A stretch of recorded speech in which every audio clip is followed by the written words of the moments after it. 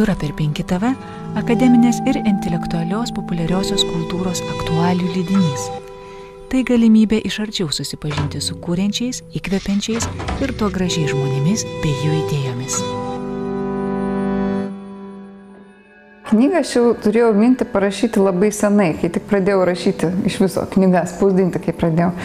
Nes e, nuo senų laikų, kai aš dar buvau psichologijos studentė, aš visada ieškojau knygų, kuriuose rašoma apie psichoterapiją grožiniu stiliumi.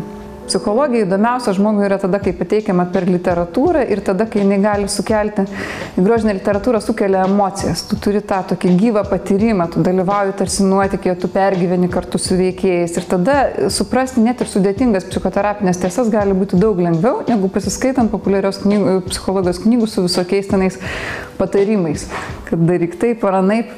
Tai va tada aš jau norėjau Ir pamažu, pamažu, pamažu, iš pradžių rašiau tokias trumpesnės novelės, išleidau kitą knygą, Gerų žmonių šešėlė, ten irgi buvo e, pacientų, e, reiškia, pasisakymai ir jau nusprendžiau parašyti tokią ilgą išsame ir norėjau taip pat labai pasidalinti savo darbo patirtim, nes iš tikrųjų psichoterapeutas gyvena labai įdomiai, jis labai daug istorijų girdi įvairiausių, daug apgalvoja sudėtingų dalykų, kurių žmonės e, bendraudami pokalbiuose nepastebi, apie save, apie kitus nepastebi. Ir man atrodo, kad ta informacija informacija yra nepaprastai, na, tokia aukso vertės, kad jeigu žmonės žinotų tiek, kiek žino psichoterapeutas, jų bendravimas būtų kur kas toksai aukštesnio lygio, subtilesnis, laisvesnis.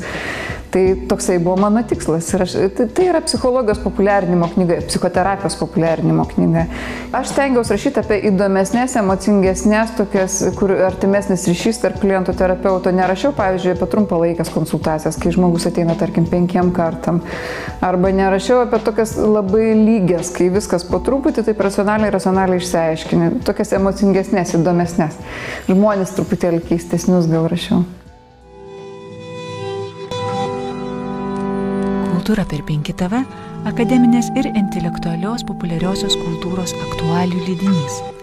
Tai galimybė iš arčiau susipažinti su kūrenčiais, įkvepiančiais ir to gražiai žmonėmis bei jų idėjomis.